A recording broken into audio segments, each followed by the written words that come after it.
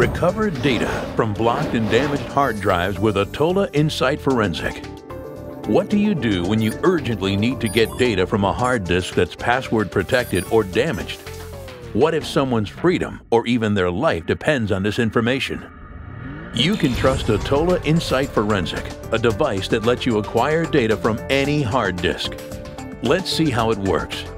First, connect the source and target drives to the Atola Insight Forensic and connect it to your computer. Run diagnostics to check on the health of the subject drive. We always recommend doing the diagnostic step first in order to prevent data loss. When it's done, you'll receive a detailed report on the condition of the drive. If data storage is damaged and there's a risk of information loss, Atola will quickly make an exact bit-to-bit virtual copy of the disk. Recovery will not even touch the physical original.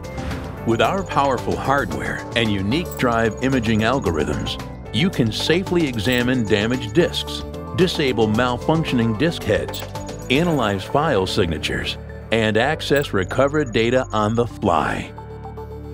If the hard disk is password protected from unauthorized access, simply turn off the protection by extracting or resetting the password. If data has been lost, recover the files you need and copy them to a safe place. If the files are physically damaged, Atola can partially recover them and save at least part of your important information.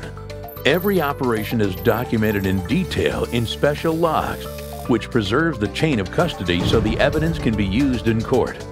By purchasing Atola hardware, you receive a year-long subscription to software updates, technical support, and a lifetime device guarantee. Besides recovering lost data, Atola Insight Forensic also supports all common and not so common hard disk operations on all modern operating systems.